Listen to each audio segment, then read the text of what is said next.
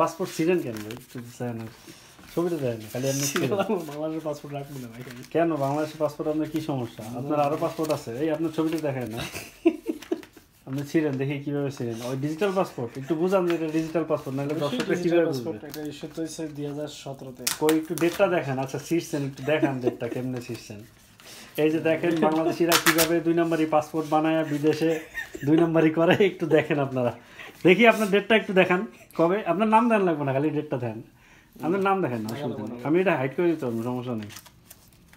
Just এটা যে true আসলে বাংলাদেশি পাসপোর্ট এটার জন্য জানেন? একটু ইয়া রাখা এই ডেটটা দেন ছবিটা দেখানোর দরকার নেই আপনি শুধু জাস্ট ডেটটা দেখেন ডেটটা আমি কাইটা দেবো নাম সমস্যা নেই এই দেখেন, এই যে। কত সালে ডেট ওয়েট ওয়েট ওয়েট এখানে। এই পিসটা একটা ডেট আছে এটা হচ্ছে আপনার ডিটেলস দেখেন কীভাবে বাঙালিরা দুই নম্বরই পাসপোর্ট ছিঁড়া, আসল পাসপোর্ট ছিঁড়া কীভাবে দুই নম্বরই পাসপোর্ট বানায়া বিদেশে কাগজ করে। Thank you very much